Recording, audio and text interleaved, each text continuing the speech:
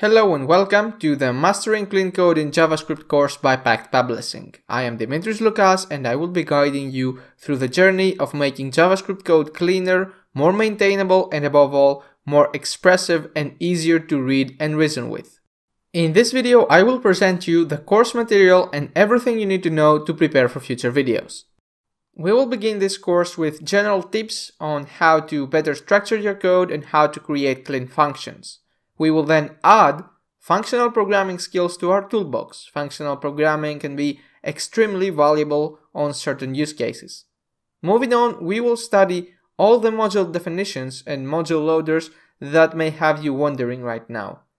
After that, we will go back to the traditional way and study design patterns and principles that can prove to be particularly valuable with enterprise apps.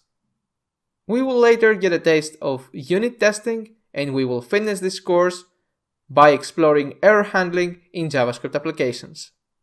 Before you begin this course, you must have some prior programming experience in JavaScript. This isn't a course for complete JavaScript beginners. You should also have some experience with object-oriented programming as this course dives deep into OOP concepts in the fourth section. Some knowledge of functional programming could also be proven helpful but not necessary. Finally, it would be really nice, although optional, to have experience with full stack JavaScript. This course will use examples both on the server with Node.js and the client. However, no special framework will be used, so no Angular, React or Vue.js, just plain JavaScript. Let's have a look at what you need to set up in order to make the most out of this course.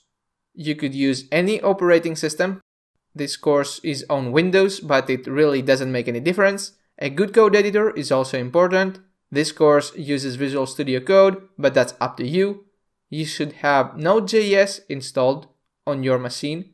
This course was made on top of Node.js version 8.9.1, and you are also advised to globally install Webpack on your machine for the front-end examples.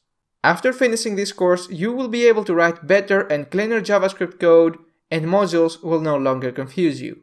You will have learned strong skills regarding both functional and object-oriented JavaScript. You will also learn how unit testing works and how to set up top-notch error handling in your applications. The course will focus on the concepts and principles, so the examples will be kept simple. However, you will be able to apply what you learn to a great variety of projects from small ones to large-scale enterprise applications.